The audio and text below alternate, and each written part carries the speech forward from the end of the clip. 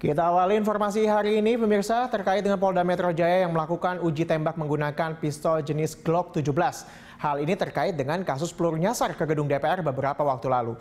Dan uji coba ini akan menyesuaikan jarak lapangan tembak Senayan dengan gedung DPR sejauh 300 meter. Untuk mengetahui hal ini kita langsung bergabung dengan reporter Glenn Joshua dan juru kamera Rio Cornelianto yang saat ini sudah berada di Mako Brimob. Ya Glenn bisa Anda jelaskan bagaimana uji tembak hari ini? Apakah kemudian uh, terbukti bahwa dengan jarak tembak yang uh, sekian ini bisa uh, menembus ke kaca? Ya, Tesar, hasil dari uji tembak yang dilakukan oleh pihak kepolisian hari ini menunjukkan bahwa senjata peluru yang ditembakkan dari senjata api Glock 17 dari jarak 300 meter tersebut terbukti dapat bisa uh, menembus kaca dan juga dinding ataupun triplek yang berketebalan sekitar 18 mm. Di mana tadi uji coba diawali dengan pengukuran jarak terlebih dahulu dengan menggunakan sebuah alat. Di mana tadi kami eh, para awak media pun eh, dapat membuktikan bahwa jarak yang digunakan adalah 298 meter antara penembak dan juga target. Dan selain itu eh, hasil uh, maksud kami uji tembak tersebut dilanjutkan dengan uh, uji tembak yang diperagakan oleh dari pihak kepolisian. Dan setelah peluru tersebut akhirnya mengenai sasaran kami dipersilahkan untuk melihat langsung apakah peluru tersebut dapat menunjuk uh, ataupun menembus kaca dan juga triplek yang menjadi sasaran. Di mana Kabit Humas Polda Metro Jaya Argo Yono mengatakan bahwa tujuan dari uh, uji tembak ini adalah untuk memastikan uh, jarak tembak dari senjata api Glock 17 yang pada saat itu memang di uh, yang pada saat itu memang digunakan oleh pihak uh, ataupun tersangka saat melakukan uh, uji tembak ataupun latihan tembak di lapangan tembak Senayan. Dan selain itu uji tembak ini sendiri dilakukan untuk membuktikan apakah peluru tersebut memang uh, peluru tersebut memang yang ditembakkan dari lapangan tembak tersebut uh, dapat menembus kaca dan juga dinding yang ada di beberapa ruangan di gedung DPR RI. Dan selain itu tadi tadi saya juga melihat bahwa ada perwakilan dari anggota Komisi 3 yakni dari fraksi Partai-Partai Keadilan Sejahtera Abu, Abu Bakar Al-Habsi yang langsung datang ke Makobrimob untuk bisa melihat dan juga meninjau langsung uji tembak ini sendiri di mana tadi Abu Bakar mengatakan bahwa uji penting untuk bisa uh, untuk bisa meredam isu-isu yang berkembang di masyarakat. Dan selain itu ia juga mengatakan bahwa hasil uji tembak tersebut membuktikan bahwa uh, peluru dari Glock 17 yang ditembakkan dari jarak 300 meter tersebut membuktikan bahwa uh, peluru tersebut dapat bisa menembus kaca dan juga dinding.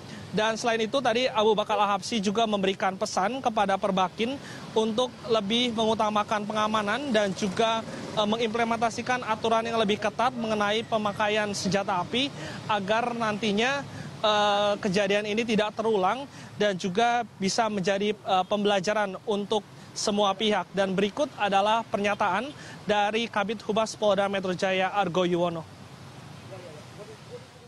Triplek ini berapa mili nih ya?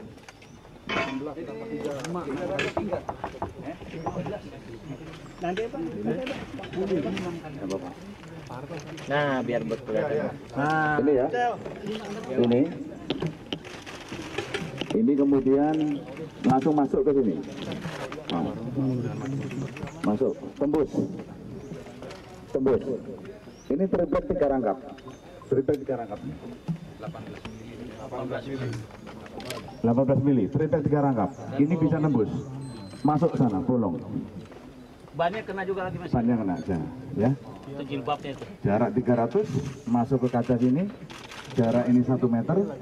Ada triplek, tiga triplek, 18 mili bisa tembus. Peluru ini, ya, bisa tembus. Jadi teman-teman bisa melihat dengan jarak sekian ternyata bisa masuk. Kaca sama 6 mili kemudian masuk ke triplek. Ya, 18 mili.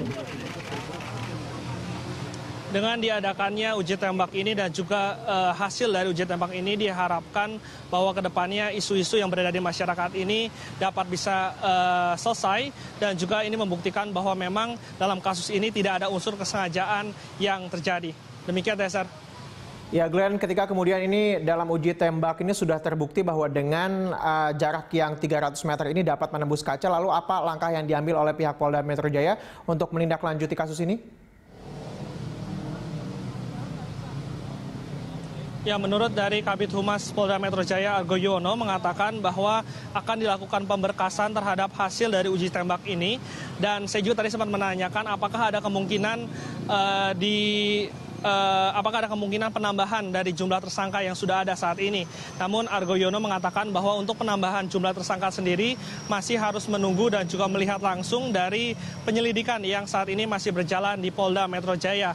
Dan berdasarkan informasi yang kami terima dari Kasubdit Ranmor Polda Metro Jaya, AKBP Sabta Malona mengatakan hingga kemarin sudah ada sembilan saksi yang saat ini masih diperiksa di Polda Metro Jaya, termasuk salah satu petugas ataupun kedi yang pada saat kejadian mendampingi kedua tersangka yang berinisial Y, di mana e, petugas yang berinisial Y ini memang diduga menjadi salah satu pihak yang menawarkan e, alat switch, switch auto custom yang membuat senjata api tersebut dapat bisa menembakkan beberapa peluru secara langsung.